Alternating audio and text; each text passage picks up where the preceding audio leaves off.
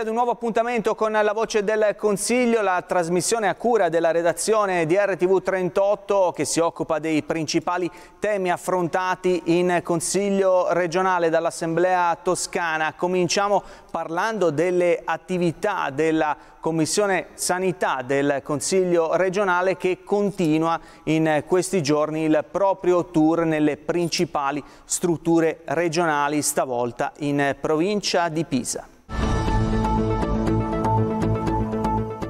Visita della Commissione Sanità del Consiglio regionale all'ospedale Cisanello di Pisa, nell'ambito del tour di sopralluoghi nelle principali strutture sanitarie della Toscana.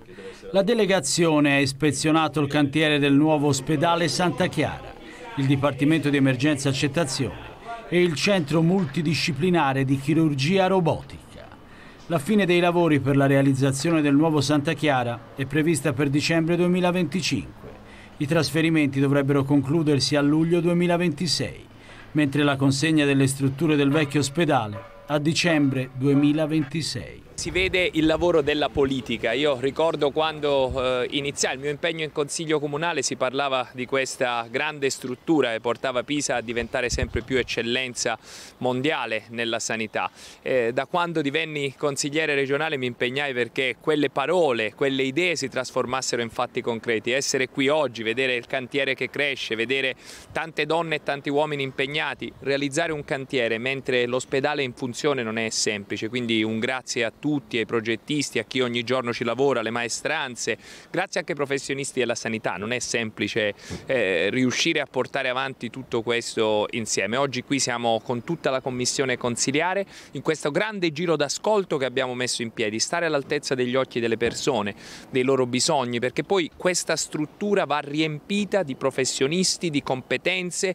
di tecnologia, perché il futuro della sanità passerà attraverso l'intelligenza artificiale, attraverso i big data, attraverso tutte quelle tecnologie che hanno un obiettivo, migliorare la vita delle persone, perché ogni scelta che noi facciamo la dobbiamo fare pensando al cittadino e pensando che un bimbo che nasce in Garfagnana deve avere gli stessi diritti di un bimbo che nasce a Firenze o a Pisa. Ecco che le tecnologie svolgeranno un ruolo importante e noi siamo qui proprio in questo giro d'ascolto che è partito dal Grossetano, oggi a Pisa, poi girerà tutti gli ospedali della Toscana. La politica ha bisogno di essere all'altezza degli occhi delle persone. Questo è quello che stiamo portando avanti. L'unicità è che esisteva già una, una struttura storica, un ampliamento. Con questa ulteriore realizzazione si completa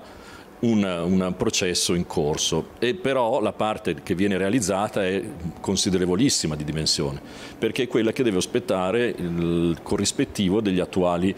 immobili che abbiamo nel centro di Pisa dove c'è il vecchio Santa Chiara che viene ceduto e trasformato in, in eh, attività più consone alla, alla localizzazione che ha adesso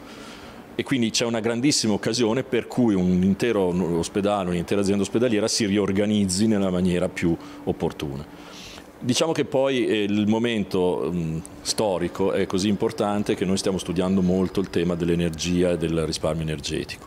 e anche in questo caso abbiamo una risorsa unica che in altri luoghi è difficilmente reperibile, cioè la geotermia. E quindi noi stiamo studiando con l'Università di Pisa, ma anche con eh, tutti i tecnici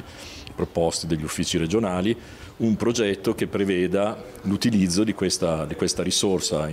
molto rilevante e del tutto verde per ridurre i consumi energetici che in tutti gli ospedali sono una quantità veramente enorme. Ci teniamo a parlare con chi lavora nel sistema sanitario direttamente, quindi con i professionisti, con le rappresentanti delle organizzazioni sindacali, perché da loro vogliamo sentire i problemi che vediamo anche sui dati. Ovviamente le questioni principali sono eh, il tema del personale, qui a Cisanello non c'è un problema di trovare i professionisti che vengono a lavorare qui volentieri, ma c'è un problema dei limiti alla spesa di personale che noi sappiamo essere imposto dal livello nazionale e non eh, eliminato. Ovviamente poi c'è il tema del rapporto con il territorio che è venuto forte, cioè come la mancanza di servizio sul territorio e di assorbimento delle richieste dei cittadini porta poi un accesso anche improprio, soprattutto al pronto soccorso, ingolfando e poi anche nel presidio ospedaliero e quindi si conferma che questa necessità di investire sul territorio, cosa stiamo facendo come regione regione e come paese perché è una misura del PNRR eh, sarà determinante ed è una sfida davvero che interessa anche a ospedali come questo. Io faccio notare una cosa, il, tanto il, il, nuovo Santa Chiara è uno dei progetti più belli che ci sono, più importanti, più eh, centrali all'interno del sistema sanitario regionale. Io sono stato eletto per la prima volta in Consiglio Comunale a Pisa nel 2003, il primo Consiglio Comunale ci mostrarono un rendering del trasferimento dal Santa Chiara a Cisanello dell'ospedale. Stamani mattina abbiamo visto un rendering del trasferimento da Santa Chiara a Cisanello. Nel frattempo quanto ci è costato trasferire un reparto da Santa Chiara a Cisanello, tornare a Santa Chiara e tornare a Cisanello un'altra volta o trasferire pazienti avanti e indietro tutti i giorni, quanto ci è costato tutto questo? Una voragine di soldi pubblici che speriamo trovi fine e soprattutto trovi conclusione questo trasferimento che va avanti da, oltre, da quasi vent'anni. Direi che il progetto del Santa Chiara è veramente una cosa imponente, una cosa veramente bella, ne testimonia la giornata del pomeriggio in cui abbiamo parlato con professionisti estremamente motivati eh, ci sono state anche delle critiche naturalmente, critiche che noi di, di fatto già conoscevamo in quanto eh, specialmente noi, noi, della Lega, il fatto delle tre ASL l'abbiamo cavalcato perché le tre, le tre maxi ASL per noi non dovrebbero essere tali ma dovrebbero essere a eh, misura provinciale e è stato testimoniato anche dal fatto che dice che la filiera di direttore generale cittadino è troppo lunga, questo proprio perché c'è una distanza abissale tra le zone decisionali del direttore generale e poi come le ricadute che abbiamo sulla, sul cittadino.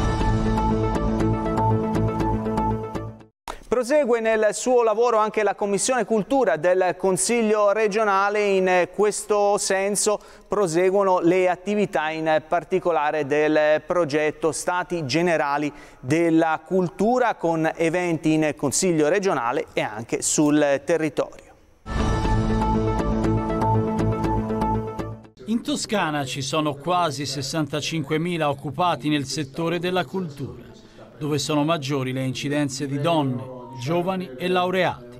E il quadro illustrato dall'IRPET in Palazzo del Pegaso, emerso analizzando i risultati dei questionari online proposti nell'ambito della prima fase del percorso regionale degli Stati Generali della Cultura. La cultura domanda lavoro qualificato, in prevalenza lavoratori quindi altamente professionalizzati, in stragrande maggioranza laureati. E, e poi perché offre un lavoro che mm, garantisce anche un buon equilibrio fra il, um, il tempo di lavoro tempi di cura e garantisce anche una uh, elevata soddisfazione in termini di appagamento, di capacità diciamo, di realizzare i propri obiettivi dire, professionali eh, dal punto di vista del contenuto delle attività che si svolge, meno viceversa dal punto di vista retributivo. E questo è un aspetto su cui bisogna migliorare e, e intervenire e, e oltre quello diciamo, della precarietà che qui è maggiore rispetto ad altri eh, settori. Tante energie che convergono per dare gambe a questo bel progetto di giunta regionale e consiglio regionale che vuole costruire le strategie sulle politiche culturali dei prossimi anni. La fase online ha eh, coinvolto moltissimi eh, operatori e lavoratori, quasi oltre un migliaio e molti di loro hanno fatto i questionari offrendoci tanti dati dai quali sono emersi già ehm, elementi importantissimi, tipo il fatto che questo lavoro è un lavoro giovanile, un lavoro che impiega molte donne, quindi un settore di sviluppo strategico per l'impiego nel nostro territorio. Per la Toscana la cultura è strategica e quindi ha bisogno proprio di una revisione per arrivare a poter programmare meglio tutte le varie attività, quindi giungere a delle proposte di legge probabilmente che riusciranno in qualche modo a dare delle linee politiche proprio per poter programmare meglio e quindi aiutare tutta la Toscana a essere veramente la regione della cultura. Noi tutti sappiamo quanto è il valore eh, di questo settore per la Toscana, ma sappiamo anche quanto tutti gli operatori del eh, dell'ambito culturale soffrano di una endemica ehm, mancanza di certezze, di una retribuzione molto spesso inferiore alla loro preparazione e questa iniziativa avvolge soprattutto in questa direzione, nel cercare delle soluzioni che tolgano a questo mondo la fondamentale precarietà di cui attualmente è caratterizzato. Restiamo in tema di cultura e di arte, ci occupiamo infatti della Biennale dell'Arte di Venezia che ha visto nei giorni scorsi protagonista anche la Toscana. Vediamo.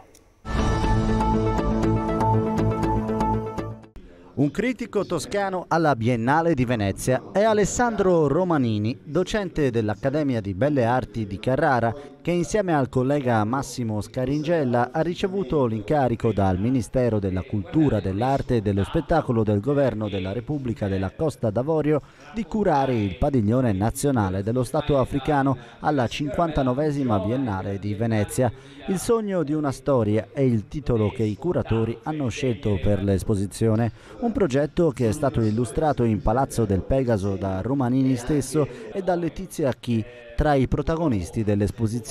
seguitissima artista 26enne ivoriana e attivista per i diritti delle donne. Abbiamo iniziato a lavorare quasi due anni fa e abbiamo cercato di selezionare quelli che sono gli artisti della nuova generazione, ancorandoli però alla, alla tradizione espressiva del loro paese, perché tutti sono accomunati dalla volontà di riconnettersi con quella che era la cultura precoloniale e proporre anche una nuova formula.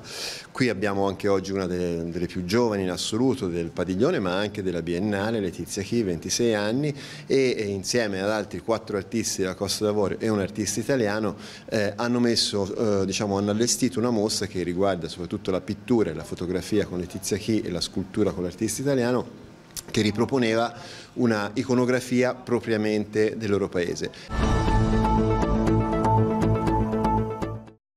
Spazio anche al Mangiar Bene in Palazzo del Pegaso dove è stata presentata la guida 2023 delle migliori osterie d'Italia, naturalmente un ruolo da protagonista recitato pure dalla Toscana.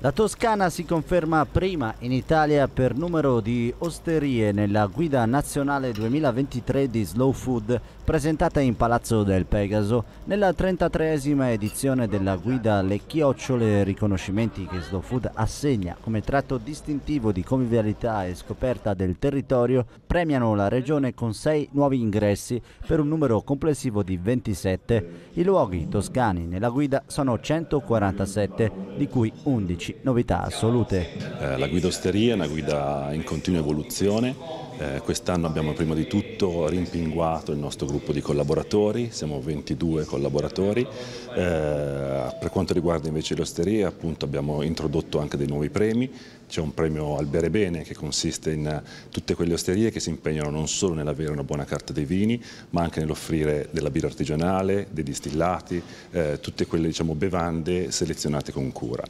Eh, abbiamo in Toscana, come diceva Gianmarco, il maggior numero di chiocciole tut di tutta Italia e quest'anno, presenti oggi alla presentazione ufficiale, sei nuove chiocciole che hanno appunto rimpinguato il, il numero delle chiocciole toscane, che sono 27. La chiocciola per noi è il simbolo di prestigio del, dell'associazione, cioè sono quelle osterie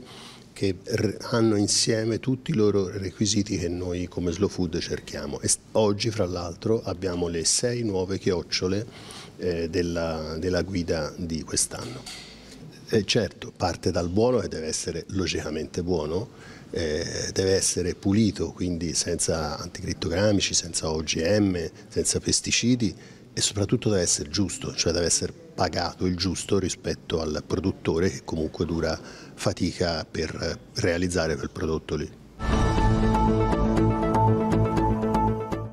È davvero tutto, la puntata della Voce del Consiglio termina qui, l'appuntamento come sempre è su RTV 38 tra sette giorni e naturalmente potete sempre seguire sulla nostra emittente le novità relative ai lavori del Consiglio regionale della politica toscana. Grazie per l'attenzione e buon proseguimento su RTV 38, arrivederci.